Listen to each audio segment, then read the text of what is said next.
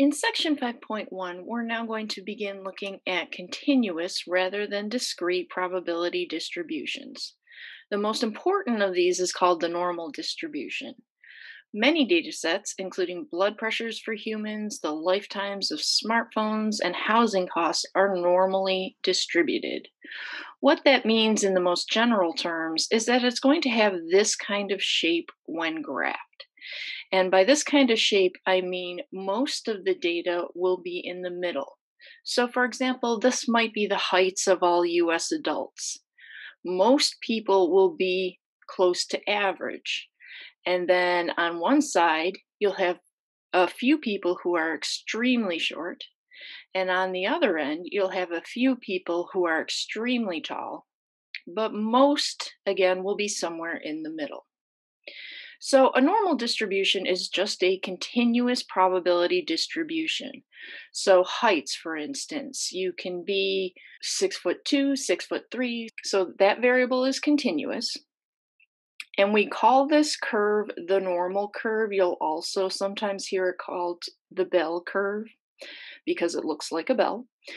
And there are four important properties for you to know about the bell curve. Number one, the mean, median, and mode are all equal. And that's represented by this vertical line right here. You can see down at the bottom, it's been labeled mean. That's the symbol for the mean. And it turns out in a normal curve, the mean and the median and the mode will all be equal. Number two, the curve is going to be bell shaped and is symmetric about the mean. So, in other words, at the mean, we have a line of symmetry for this shape where one half is the mirror image of the other. The total area under the curve will always be equal to 1. And between the mean minus 1 standard deviation, which you can see represented by this line right here, and the mean plus 1 standard deviation, right here. So, so between these two values, you'll notice uh, the curve here is curving downwards. But then once you get to that first standard deviation beyond the mean, then you'll notice the curve starts turning upwards, both on the left end and on the right. It's the mean and the standard deviation that determine the shape of the normal curve. Specifically, the mean is always going to tell you the location of the line of symmetry because the mean is going to be in the middle of that curve. The standard deviation describes how much the data are spread out. So here you can see in our first example a mean of 3.5. So you'll find the line of symmetry here at 3.5. The standard deviation is 1.5. And we know that because we look for that point where the curve goes from curving downward to curving upward. And that value is 1.5 units away from the mean at 3.5.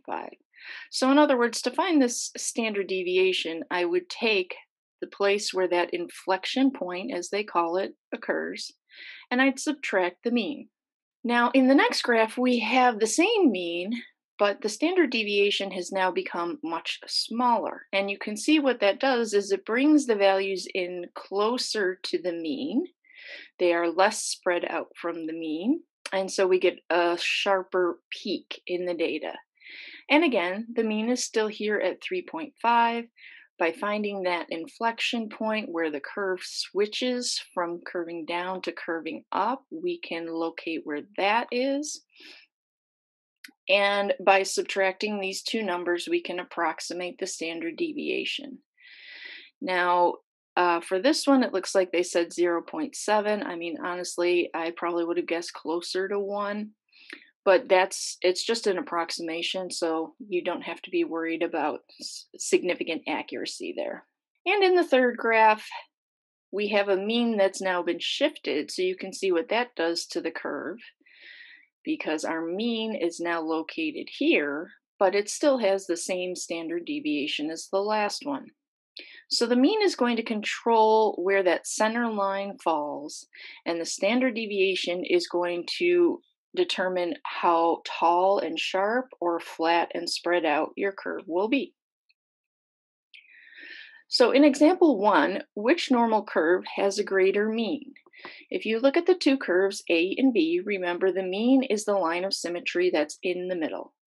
So for B, it's approximately here. So the mean for B is 12. The mean for A, the line of symmetry, would fall right here. So the mean would be 15. So obviously, A has the larger mean. Which normal curve has a greater standard deviation? We can tell automatically just by looking at these curves that the one that is more spread out will have the bigger standard deviation. So it's going to be B. However, if you wanted to actually estimate numbers for the standard deviation, again, what you would do is find that middle of the curve and look for where it turns from curving down right about here to curving up. So this would represent one standard deviation away. So we could subtract those two numbers and that would give us a standard deviation of approximately 3.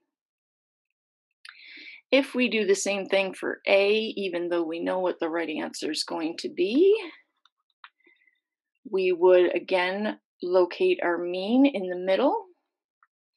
Look for the spot where the curve goes from curving down to curving up, which I would think would be somewhere around here. Read down to the graph, and now I'd have to estimate um, 15, 16, and 17 have to fall in here. So maybe that's about 16.5. So to find my standard deviation, I would take 16.5 and subtract the mean, and you can see we did get a smaller approximate standard deviation. First basic rule you usually learn about the normal curve is called the empirical rule. And it gives us basic information based on that mean and standard deviation. So if you have a normally distributed variable, about 68% of the data will lie within one standard deviation of the mean. So again, when I said, you know, in terms of adult heights, I said most people fall near the mean. Well, it's specifically it's 68% from one standard deviation below to one standard deviation above the mean. And notice if you take these two percentages on each half and you add them, 34.13 plus 34.13, you do get 68.26% of the data, or in other words, about 68%.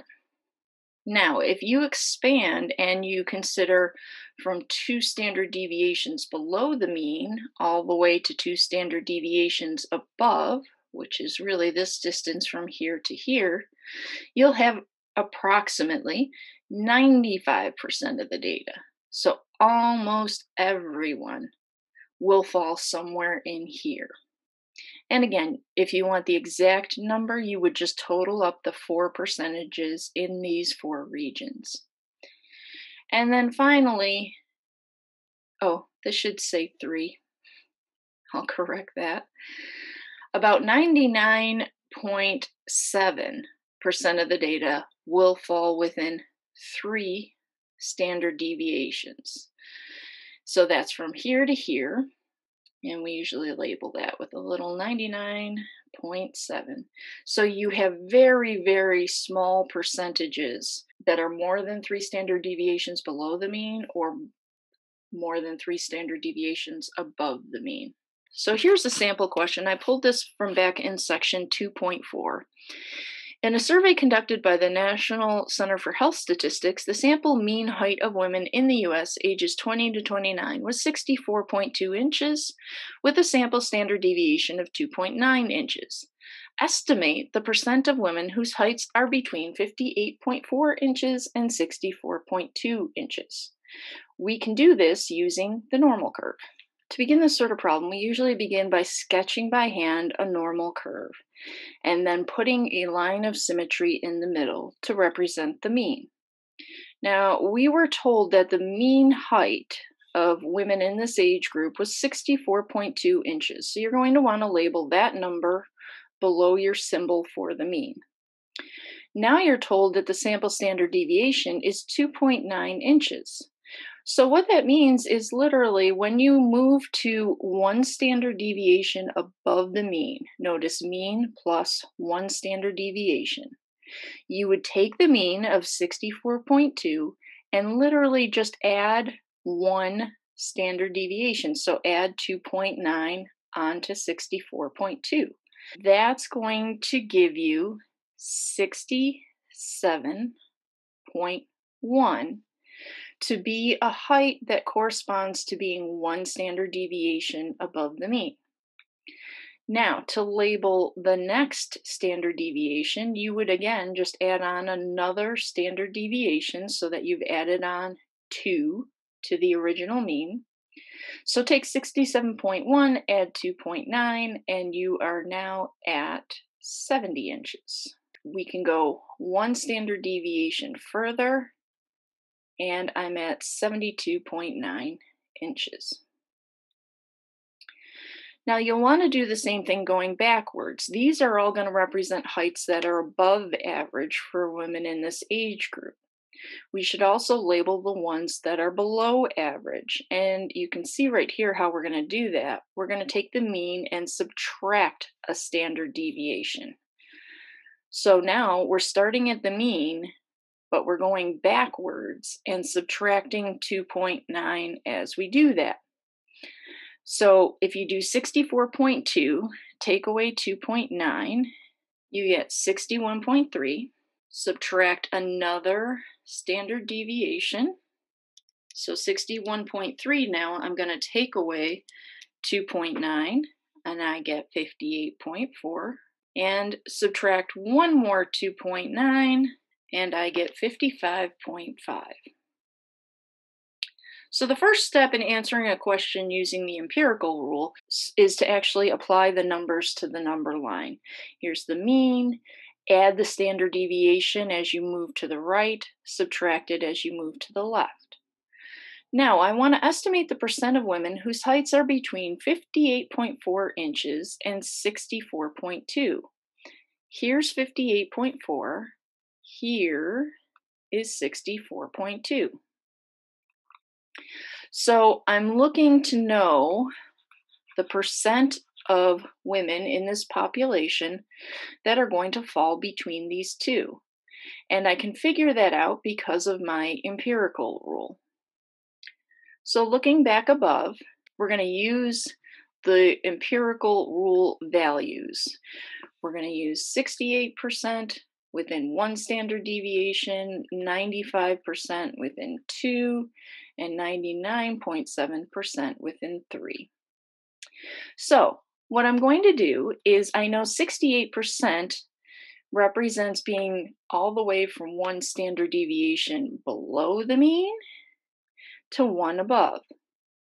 So I'm going to split that into two pieces. If you do 68 divided by 2, you know that there are 34% of the population that are one standard deviation above and 34% that are one standard deviation below. Now, what I need is to know what percentage would be in this next section. Well, I'm going to take the 95% and I'm going to divide that by 2, giving me 47.5%. So that tells me that from here all the way out to here, in this total distance, I'm supposed to have 95%. By dividing it in two, I found half of that.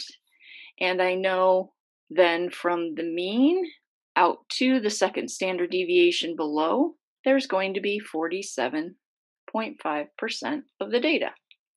And that corresponds to all of my blue shaded region, so that's going to be my answer. It turns out that we can get a lot more specific and improve our accuracy beyond just the basic empirical rule. The empirical rule is good for giving you approximations for these answers, but if you want the real exact answer, we're going to see how to do that next.